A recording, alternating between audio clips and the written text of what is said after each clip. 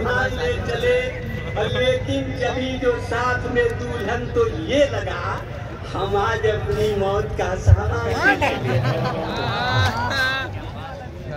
आइए छोटी सुंदर।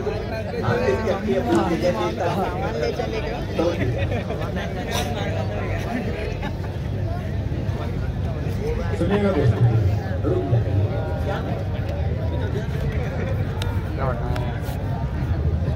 क्या चाहते हो? जो भी ससुर ने हमको दिया दान ले चले और टीवी फ्रिज को लाद के सीवान ले चले और लेकिन चली जो साथ में दुल्हन तो ये लगा हम आज अपनी मौत का सामान ले चले।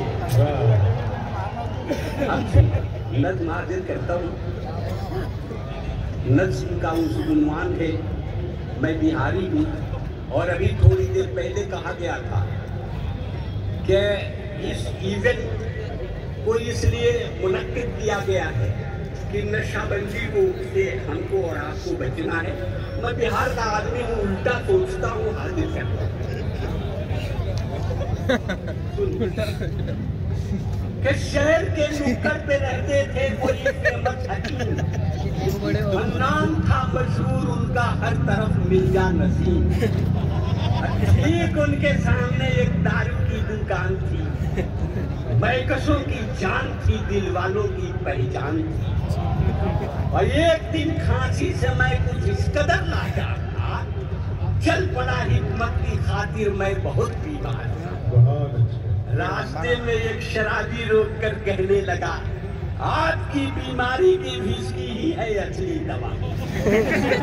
बात मेरी मानिए नुस्खा हकीमी छोड़िए। आप भी अंगूर की बेटी से रिश्ता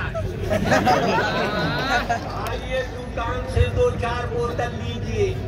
आपकी खांसी चली जाएगी विस्की पीजिए। हर दवा से आज बेहतर हो गई विस्की कमाल।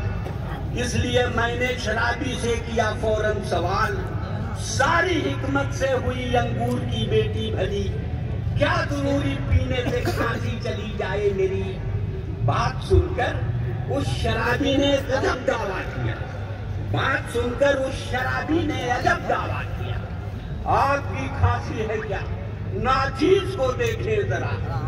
घर गया। दौलत गई। बीवी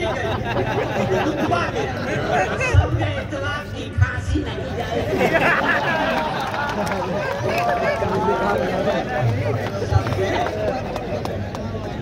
बाबू भैया का डाला बाबू भैया का डाले मार दिया